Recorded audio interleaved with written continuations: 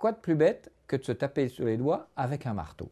Pour cela, il vous suffit simplement de prendre une pince à linge, de coincer votre pointe au bout de la, de la pince et de